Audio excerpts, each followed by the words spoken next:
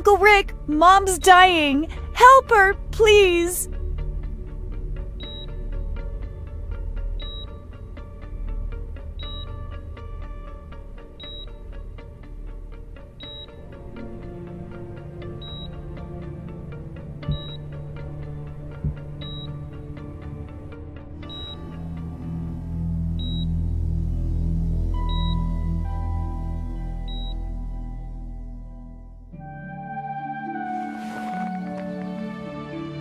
Thank you, Rick. I thought my time was up. I can't believe this is all real. I can't believe she was our aunt.